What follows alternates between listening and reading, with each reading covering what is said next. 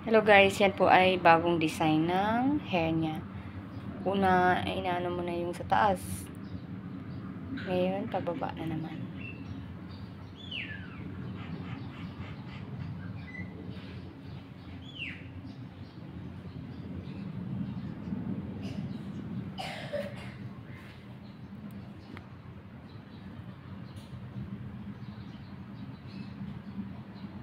Napakahaba po buhok niya guys. Tingnan no.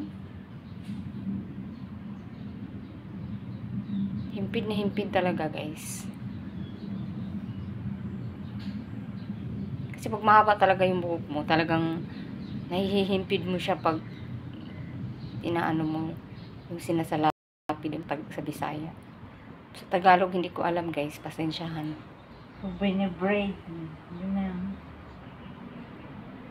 Himpid ng himpid ng buhok niya kasi mahaba. Wala na akong chance na magpahaba ng buhok, guys. Ganito na talaga ang buhok ko. Yan. Tinan mo, guys. Napakahaba yung buhok niya.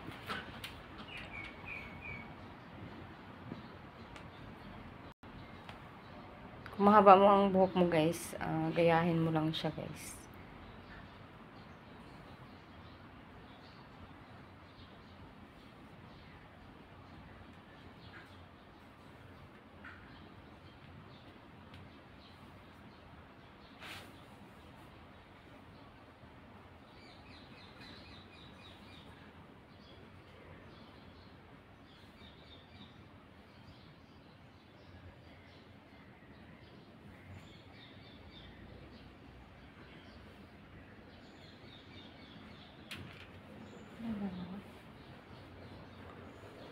Super haba talaga siya, guys.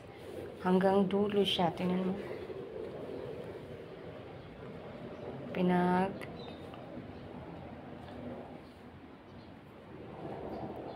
Tirintas niya, guys, hanggang sa baba, hanggang sa dulo. Napakahimpid talaga siya as in. Tingnan mo. At marami din yun siyang mga tali sa buhok niya.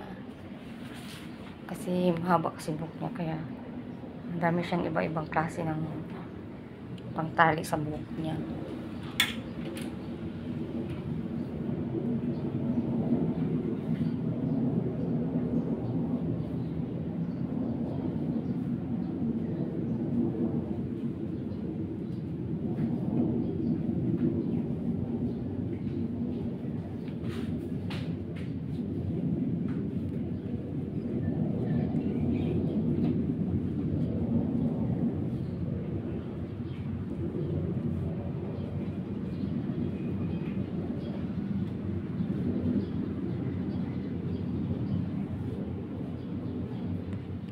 Pag mahaba talaga ang buhok guys, kahit anong design ng buhok mo, pwede mong gawin dahil napakahaba. Tayo na mali, maliit lang, maiksi na buhok. Hindi pala maliit, maiksi ang buhok. Isang himpid lang tama na. Pa yung mahaba guys, marami ka pong design na magagawa.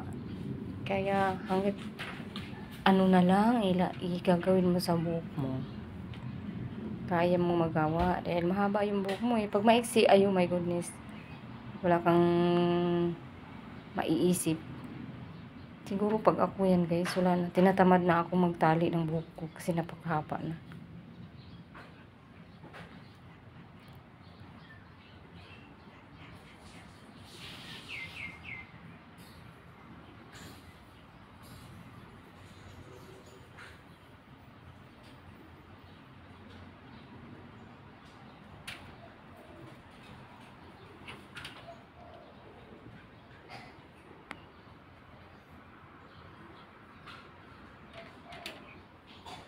Ayan guys, tino yung buhok niya, napakahaba siya hanggang dulo.